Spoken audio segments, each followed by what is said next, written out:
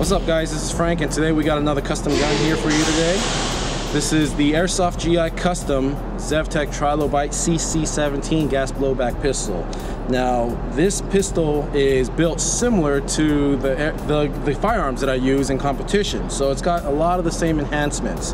Uh, but first off, this is built off of an Echo 1 uh, ZEV Tech uh, licensed uh, top end, and it's actually made for WeTech, so we chose to use the WeTech frame. Um, outside of that, let's talk about some of the enhancements that I made. Um, I shoot a lot of pistol competitions, and I actually shoot a fully raced out open Glock 17. Um, this is actually a similar pistol, um, and it has similar enhancements that I actually did to my real firearm. Uh, is the same enhancements that I did to this one. So we're going to start off with the grip stippling. Um, gives me uh, gives you a more positive grip. Uh, the the firearm or the airsoft gun in this case will actually stay.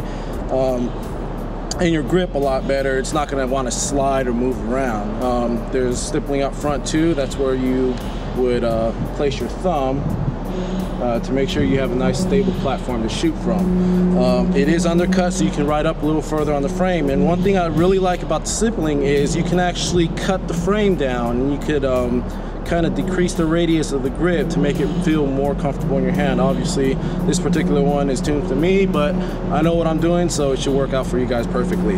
Um, other enhancements I have is um, mostly in the trigger and the hop-up unit. Now, the hop-up unit did uh, need a lot of tuning uh, to make it fly nice, straight, and true. So I, we actually did some tuning on the hop-up unit.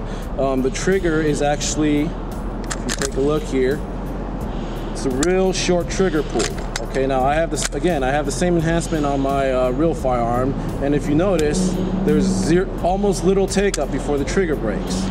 You know, one of the main things with the WE, uh, with the WeTech frames is the triggers don't always break cleanly. So um, I actually worked all that out and I made sure that there's a nice clean trigger break.